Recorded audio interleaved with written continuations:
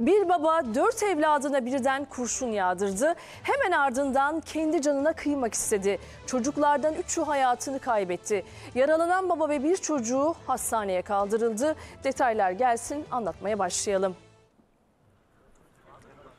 İzmir'in Bornova ilçesinde yaşayan 45 yaşındaki Vesim Şimşek 4 çocuğunu da alarak zeytin bahçesine gitti.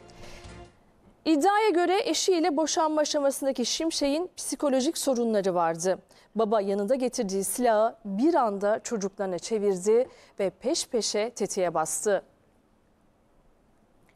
O katliamda 2 yaşındaki Ceylin, 4 yaşındaki Cemre ve 14 yaşındaki Nira Şimşek hayatlarını kaybetti. Kurşunlara hedef olan diğer çocuk Hira Nur yaralıydı. Çocuklarını silahla vurduktan sonra intihara kalkışan Vesim Şimşek yaralı olarak hastaneye kaldırıldı.